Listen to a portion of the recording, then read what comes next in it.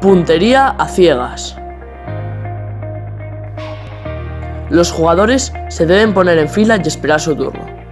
El primer jugador, que llevará los ojos vendados, debe lanzar una pelota hacia adelante, intentando que ésta llegue a un círculo dibujado con tiza en el suelo. La pelota se debe detener por completo en el círculo para que el desafío quede por completado.